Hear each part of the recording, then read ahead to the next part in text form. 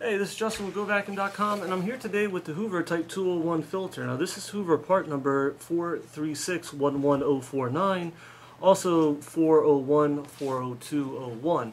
Now, this is the filter that fits into the Hoover uh, bag chamber on the bagless vacuum cleaner. Um, as you can see here, the heavy-duty rubber seal here, that works really well.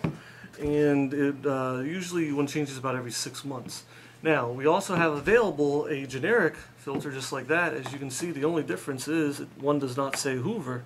Uh, this one's actually pleated and made a little bit better with the rough texture and the same heavy-duty uh, rubber gasket on the bottom.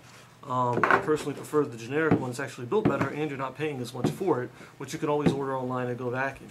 Any questions about these filters, give us a shout, 888-GO-VACUUM. I'm sorry, 866-GO-VACUUM, 866-GO-VACUUM. Info at GoVacuum.com. Chat live with us at GoVacuum.com. All seven days of the week, Monday through Saturday, 8 a.m. till 8 p.m. And on Sunday, 11 a.m. until 6 p.m. Eastern Standard Time. I'm Justin with GoVacuum.com with the Hoover filters. Thank you.